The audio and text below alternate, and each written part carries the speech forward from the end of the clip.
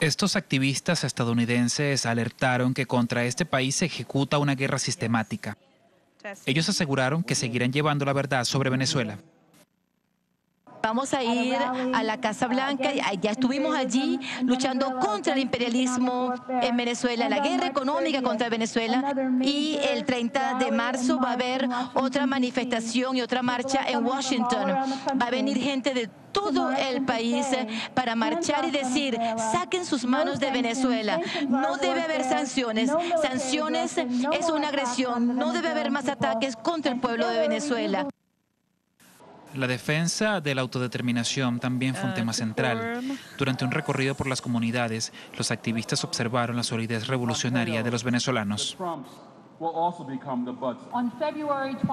El 23 de febrero, cuando todo se centraba en un momento de crisis, el pueblo de Venezuela sabe que hubo manifestaciones en 150 ciudades en el mundo entero, en 71 ciudades de Estados Unidos donde decían no a la guerra contra Venezuela, saquen sus manos de Venezuela, de manera tal que nuestro poderío colectivo es capaz de superar estos ataques, superar el ciberterrorismo, movilizar a la gente, de manera que hay que fortalecer esos movimientos.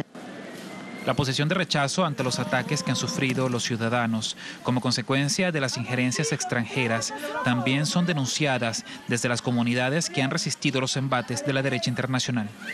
Durante 500 años se han llevado nuestra riqueza, durante 500 y miles de años hasta se que llegó Chávez. hasta que llegó Chávez. Hasta que llegó Chávez y le dijo, la riqueza del pueblo de Venezuela es del pueblo de Venezuela.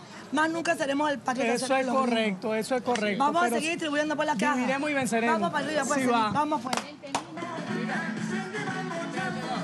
La Unión Nacional y la defensa por la soberanía es el tema en el que coincide el pueblo venezolano mientras paulatinamente vuelve a la normalidad. Venezuela se mantiene alerta ante las amenazas externas que insisten en asediar esta nación.